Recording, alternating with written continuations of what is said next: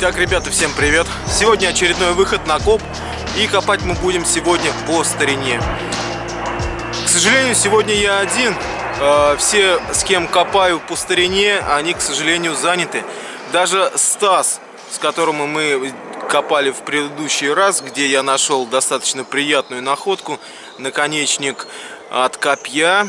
Я его смог датировать. Э, вернее, даже не я, а помогли друзья-товарищи. Оказывается, это у нас скифы. Э, и датировали мне именно две с половиной тысячи лет этому наконечнику. Я просто был в шоке. Я предполагал, что это как, ну, монголы. Но чтобы две с половиной тысячи лет, сарматы, ох, вот это мне повезло. Тем более такой сохран я еще никогда нигде не видел. Пролистал я очень много литературы в интернете. Вот, и все эти сарматские наконечники в очень удручающем состоянии. Мой же просто огонь в таком шикарном виде. Э, в общем, э, сегодня я вернулся в этот лесок. Сегодня у нас э, будничный день. Стас не поехал из-за того, что у него сегодня родился ребенок. К сожалению, не написал он мне сын или дочь. Но факт в том, что отписался он мне, сказал, что Саня, извини, коп отменяется, у меня родился ребенок. В 3, в 3.59, если не ошибаюсь. В общем, Стасян у нас стал очередной раз папашей. Да-да, папашей. И все дружно поздравляем его. Так что приятная новость. Вот, но копаю я сегодня один. Неподалеку находится э, трасса, так что заблудиться здесь невозможно. Будем ориентироваться на шум дороги. Той стороне у нас Волга. Вот, так что ориентиры есть, потеряться здесь невозможно. Но нужно быть предельно осторожной, так как в этих лесах у нас э, обитают рыси. А рыси ходят по верхам. Так что нужно крутить не просто на 198 градусов, а, ну и еще на 360 наверх. Ну и все. Пожелайте мне удачи, как говорится, по находкам по старине. Смотрим, надеюсь, будет интересно. Итак, ребят, лес как будто подменили. То ли я зашел не с той стороны леса, то ли что. Мусора очень много. Э, ножей от грибников нашел уже три штуки. Вот, э, две монеты. Одна из них вот сейчас выпала, и я решил ее показать тем, что она не часто выпадает, такая монетка советской эпохи. Но вам продемонстрирую. Э, в принципе, монета это вот она лежит. И СССР 50 копеек. Сейчас скажем или не скажем, какой год. Ну, факт в том, что это 50 копеек. Год не видно. А до этого была копеечка, тоже советская. Грибники, грибники пока у нас. Итак, ребята, очередная находка. Но вот этот уже более-менее радует. Это у нас клин от топора. Причем топор был не маленький. Вот так вот. Топорик бы поднять. Был бы зачетно. А так ищем топорик от этого, клинышка. Итак, ребята, дошел. Вот он, этот овраг, который я вам говорил. А там уже Волга-матушка на месте я пришел. Вот именно в этом овраге и вели свой промысел бандиты. Почему именно в этом овраге? Неподалеку находится вон там деревня. И где-то проходил какой-то тракт. Вот, и на нем, они говорят, промысел свой вели. А этот овраг как раз их было убежище. Вот, возможно, они занимались пиратством, раз они находятся около Волги. И, возможно, здесь что-то у нас сегодня и найдется. Я надеюсь на это. Сейчас вдоль овражка пока пройду. Вот, а потом, возможно, в сам овраг спущусь. Ну ладно, пожелайте мне удачи. Итак, ребят, ну, есть что показать. Есть находка, достаточно приятная, интересная, э, нечасто. Да, в принципе, для меня это впервые такая находочка и довольно-таки приятная. Сейчас вы сами увидите и, надеюсь, вы мне подскажете, какой эпохи. Смотрим. Находка. Я сначала думал, какой-то кусок железа, а потом взял в руки и увидел. Смотрите. И это нож. И нож-то, блин, очень странный. Жалко, он утрачный. Здесь было, здесь вот рукоять была. Здесь было продолжение. Вот такой вот ножик, я его чиркнул. Он, походу, был из двух делений. Вот первое, а вот здесь вот еще одна была такая же накладка. И вот такая вот сабелька. Мини-сабелька. Зачет, зачет. Приятно. Достал вон в той ямке какую-то непонятную вещицу. Я ее в кармашек взял. Потом будем с вами разбираться. И вот здесь вот еще один черный сигнал. И достаточно приятный оказался. Зачет, зачет. Это точно не советская эпоха. Идем дальше.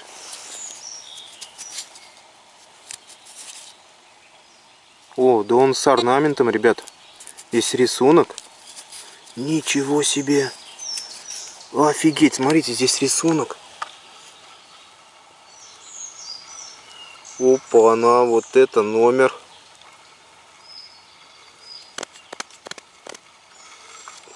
Сейчас посмотрим. Ребята, а сюжет-то интересный. Вот эта вставка деревянная. Это дерево. А внутри дерева, смотрите, вставлена медь. Рисунок из меди. Вот эти вот все вдавленные вещи, это медь. Вон, видите, я пальцем потер и проглядывается чистая медь. Ничего. Обалденная находка. Обалдеть. Чудо, а не находка. Забираем, конечно. Итак, ребят, в этой ямке, где я поднял нож, здесь же был сигнал. Слабенький, тоненький. Я его ковырял, была вот такая деревянная щепка.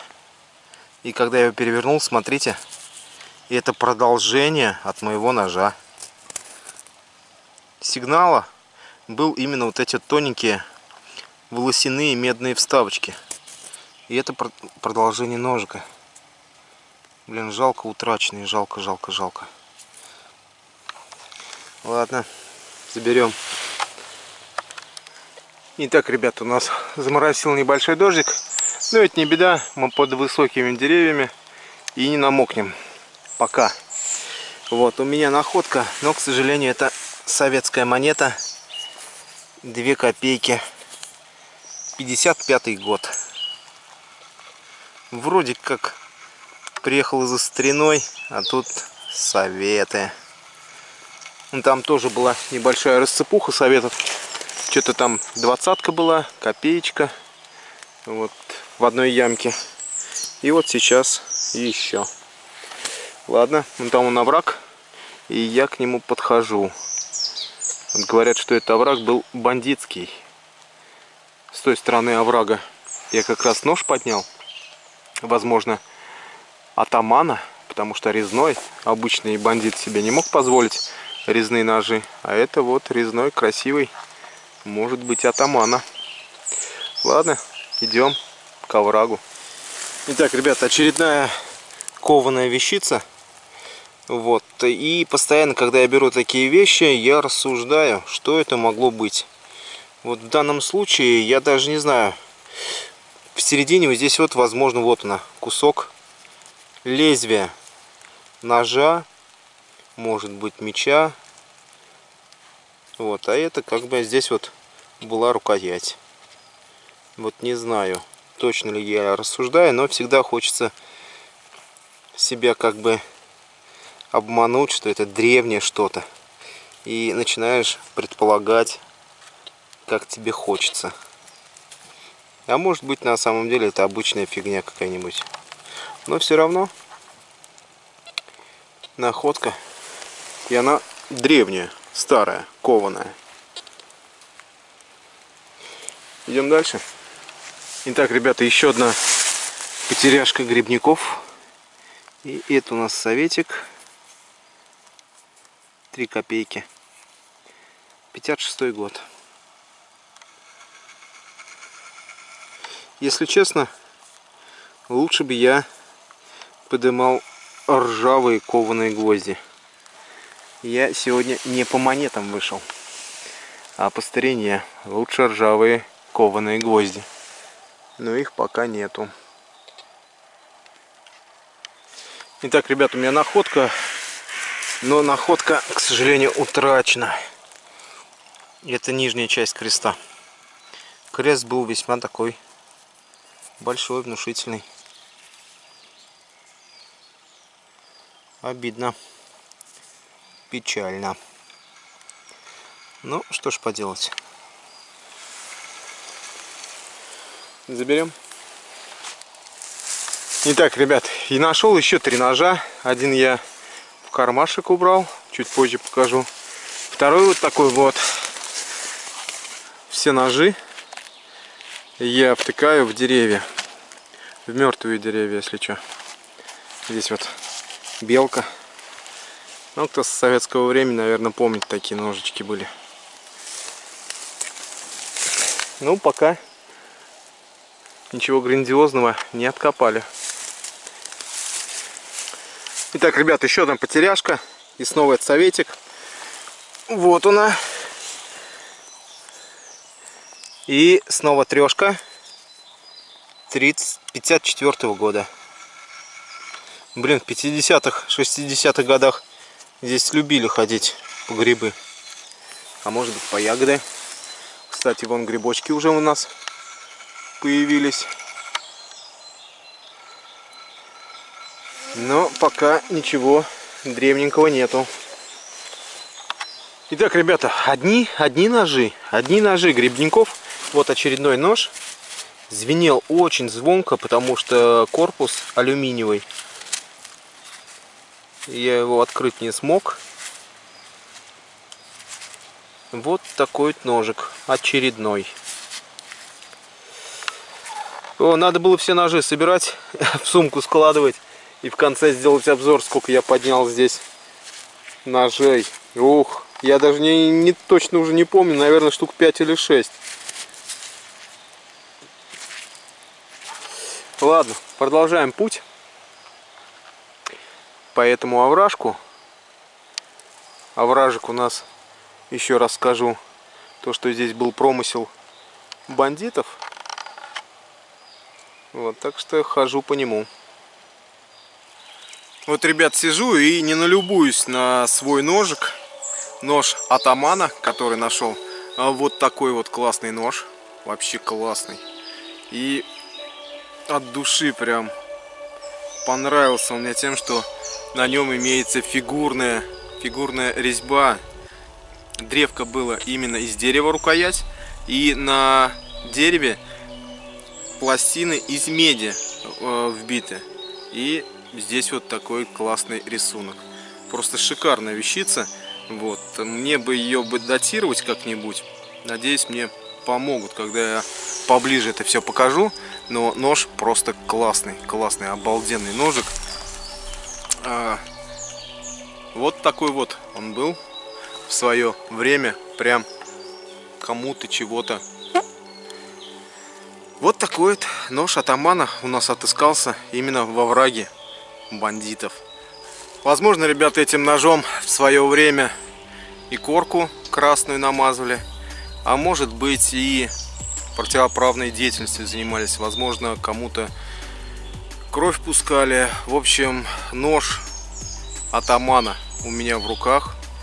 И я считаю, что обычный бандит не мог себе позволить вот именно такой нож э, с фигурной, красивой, не просто резьбой, а медными вставками. Вообще зачетная. Вот так что очумелая находка. Пишите в комментарии, что вы думаете насчет этого ножа. Вот, так что предмет достаточно интересный. Я такой, в принципе, первый раз вижу даже на YouTube. Да и везде. Я таких ножей не встречал. А вы видели такие ножи? Если видели, то отпишитесь. Итак, ребят, неприятно осознавать, но я заблудился. В прямом смысле заблудился. Хоть я ориентируюсь в лесу хорошо, знаю, что там у нас находится Волга, там жилые дома, дороги, но факт в том, что откуда я пришел, я не могу найти. Неприятно, но это так. Я заблудился. Так что будем искать, откуда пришли.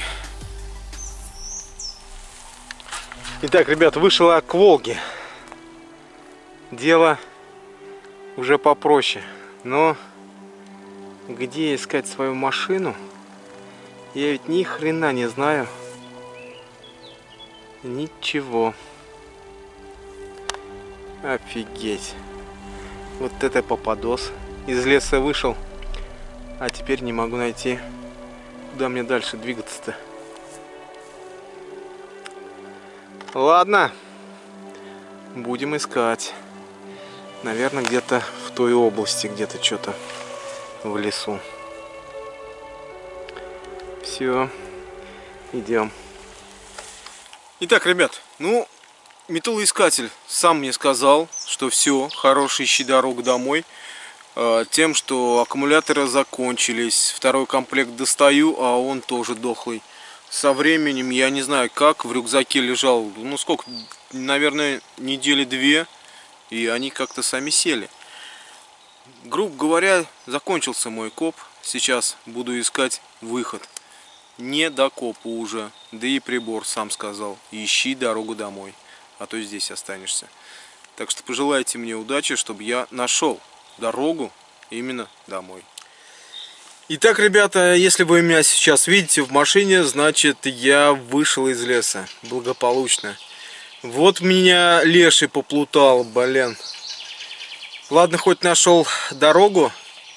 Вот. И получилось так классно, что я отыскал именно конец дороги, накатанной дороги. Э, и, естественно, пошел в обратную сторону. Ну и спустился э, именно туда, куда надо. Прям именно туда, откуда я зашел. Так что, слава богу, все обошлось где нам не пропадало. В общем, э, сейчас, если кому интересно, я вам покажу находки, которые я сегодня сделал. Э, большое количество ножей было э, советской эпохи. Один нож, только с собой взял один нож. Это нержавейка, достаточно хорошего, бодрого вида. Может быть, где-нибудь у меня пригодится. Ну и в целом советики, советские монеты, ходячка, несколько только экземпляров. Что-то древнего, но все равно. Если любопытно, досмотрите до конца, я сейчас вам все это покажу. Ну а по находкам, ребят, получилось вот так вот. Монет не особо много, но я не за ними приехал. 64 год. И вот такая вот рассыпуха была из четырех монет. 64 ой, 61 61 ну и эти тоже, наверное, 60-е. Трешка 54 -го и трешка 56 -го. по войне даже. Пуговка военная. Пуля была в камнях глубоко. Это я не знаю. Взял как шмурдячок. Обломок большого креста. Причем крест у нас был в эмали. По старине. Не знаю что это от чего это но это древнее обломок ножа, потому что лезвие острое и в принципе вещь кованая. Ну тоже шмурдяк. Клин от топора классный. Холодное оружие вот такой вот я ножичек взял. Он вообще не проржавел нигде, ничего, прям зачетное. И имеет клеймо нержавейка 61 ну и сегодняшняя бомба которая поднята была именно во враге который считается как бы не очень чистым. Говорят, там очень было много бандитизма. И вот такой вот нож. Нож атамана. Рукоять была деревянная, она прогнила, а в дереве имеется медные вставки. Рисунок, орнамент какой-то. И это отчетливо видно. Вот смотрите, вот на этом обломке. Видите, медь.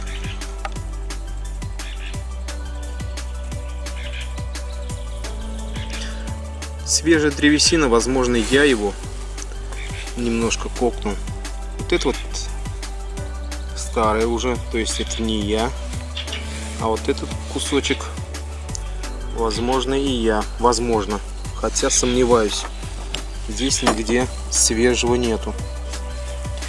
Вот такая вот зачетная вещица была. Именно поднята во враге, где промысел вели бандиты. Прошу отписаться, датировать, какой эпохи. На этом и все, ребят. Вот так вот получилось у нас по стрине. Пишем комментарии, отвечаю всем. Подписываемся. Не пропускайте новых выпусков. Для этого нужно поставить на колокольчик. И будете всегда первым у меня на обзоре. На этом все. Всем пока. До новых встреч.